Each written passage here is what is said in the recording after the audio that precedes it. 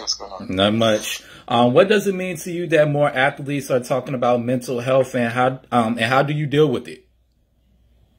I think it's awesome. You know, it takes a couple of brave, strong, more times than not, minority athletes to say, "Hey, guys, there's a situation here, there's an issue here," and then everyone, you know, kind of runs it over until you know it hits their front doorstep or their backyard.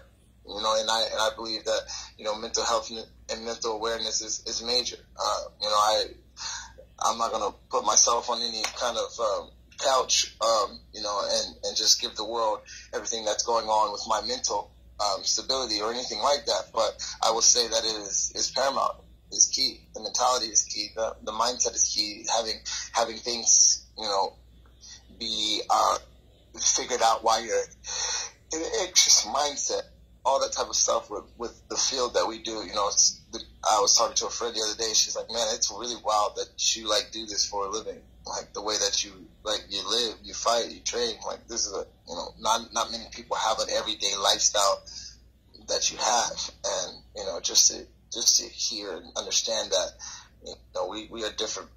I'm, I'm a different person. I'm a different breed. I'm a different mindset, and I try to root. I try to run with that.